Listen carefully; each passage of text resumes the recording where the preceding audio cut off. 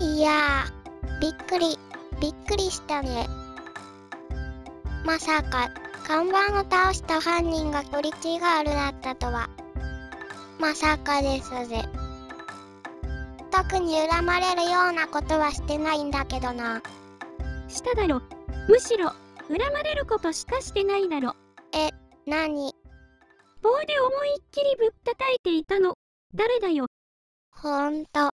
ひどいやつもいたもんだよ。お前だよ。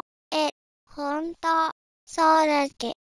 なんか、ちょっと、記憶がね、記憶って、26話と27話の間がね、なんだかすごく長かったような気がしてさ。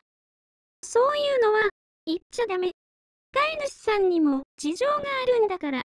大人はすぐそれだよ。何かにつけて、大人の事情、大人の事情ってね、まあまあ、落ち着きなよ。そんなに興奮しても、おいらちょっと行ってくる。どこに、川屋です。うん。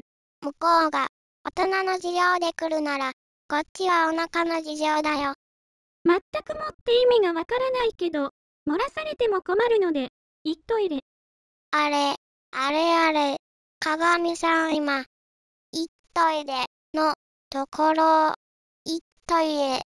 川屋だけに、トイレって言ったよね。そんなこと言うわけないじゃん。いや、言ったよ。言ってないって、言ったさ。言ってない。言った。言ってない。言った。言ってない。言った。言ってない。言った。言ってない。言った。言ってない。言った。言ってない。